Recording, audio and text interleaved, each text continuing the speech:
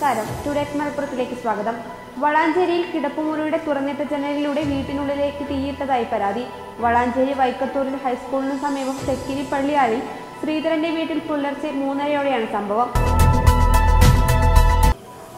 വട്ടംകുളം താഴത്തങ്ങാടിയിലെ വിവാദമായ ബസ് കാത്തിരിപ്പ് കേന്ദ്രം ചരിഞ്ഞ് അപകടാവസ്ഥയിൽ മാസങ്ങൾക്ക് മുൻപ് കാത്തിരിപ്പ് കേന്ദ്രം പൊളിച്ചു നീക്കാനുള്ള നീക്കം വിവാദമായിരുന്നു.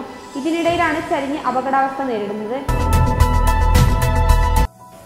പരപ്പനങ്ങാടി സർവീസ് സഹകരണ ബാങ്കിനടുത്ത് തെരുവ് നായ്ക്കൾ കൂട്ടത്തോടെ റോഡ് മുറിച്ച് ഓടിയതിനെ തുടർന്ന് വാൻ അപകടത്തിൽപ്പെട്ടു. നായ്ക്കൂട്ടം റോഡ് മുറിച്ച് ഓടുന്നത് കണ്ടതോടെ പെട്ടെന്ന് ബ്രേക്കിട്ട വാൻ നിയന്ത്രണം വിട്ട് ഇലക്ട്രിക് പോസ്റ്റ് ഇടിച്ചു തകർത്തു. തിരൂർ മൂച്ചിക്കലിൽ കാറും ഗുഡ്സ് ഓട്ടോയും കൂട്ടിയിടിച്ച് അപകടം. ഗുഡ്സ് ഡ്രൈവർക്കും മറ്റൊരാൾക്കും പരിക്കേറ്റു. പരിക്കേറ്റവരെ തൊട്ടടുത്ത ആശുപത്രിയിൽ പ്രവേശിപ്പിച്ചു.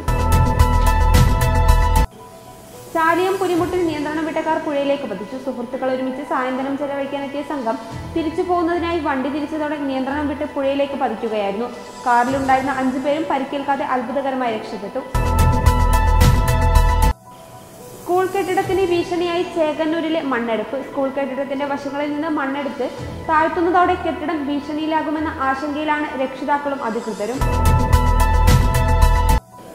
പെരിന്തൽമണ്ണ പരിയാപുരത്ത് ഡീസൽ കണ്ടെത്തിയ ആറ് കിണറുകളിലെയും വെള്ളം ഉപയോഗിക്കരുതെന്ന് ജലവകുപ്പ് ഉദ്യോഗസ്ഥരുടെ നിർദ്ദേശം. ഈ കിണറുകൾക്ക് തൊട്ടടുത്തുള്ള കിണറുകളിലെ വെള്ളം ഉപയോഗിക്കാതിരുന്നാൽ ഡീസൽ വ്യാപനം കുറയ്ക്കാനാകുമെന്നും ഉദ്യോഗസ്ഥർ ജനങ്ങളെ അറിയിച്ചു. ചാലിയാർ പെരുമ്പത്തൂർ സ്വദേശി മുല്ലേരി സുബ്രഹ്മണ്യന്റെ ചുങ്കത്തറ പഞ്ചായത്തിലെ മുണ്ടപ്പാടത്തെ പാട്ടഭൂമിയിലെ കൃഷികൾ കാട്ടാനകൾ നശിപ്പിച്ചു. രണ്ടേക്കറിലേറെ നെൽകൃഷിയാണ് നശിപ്പിച്ചത്. നെല്ലിന് കാവൽ കിടക്കാൻ താൽക്കാലികമായി നിർമ്മിച്ച ഷെഡും കാട്ടാനകൾ കഴിഞ്ഞ ദിവസം തകർത്തിരുന്നു. പ്രവാസികളെ കണ്ടെത്താൻ മഞ്ചേരിയുടെ ആഗോള കൂട്ടായ്മയായ ഇമാ മഞ്ചേരി ഗ്ലോബലിന്റെ മഞ്ചേരി ഡോട്ട് ഓൺലൈൻ എന്ന വെബ്സൈറ്റ് പ്രവർത്തനം ആരംഭിച്ചു. മഞ്ചേരിയിലെയും പരിസര പ്രദേശങ്ങളിലെയും പതിനെട്ട് പഞ്ചായത്തുകളിലെയും പ്രവാസികളെ കണ്ടെത്തി ഒരു കുടക്കയിലെത്തിക്കുക എന്നതാണ് ലക്ഷ്യം. കൂട്ടായ്മയുടെ ഇരുപതാം വാർഷികവും ഓണാഘോഷവും വെബ്സൈറ്റ് ലോഞ്ചിങ്ങും മുള്ളമ്പാറ വി കെ പാലസ് ഓഡിറ്റോറിയത്തിൽ വെച്ച് നടന്നു.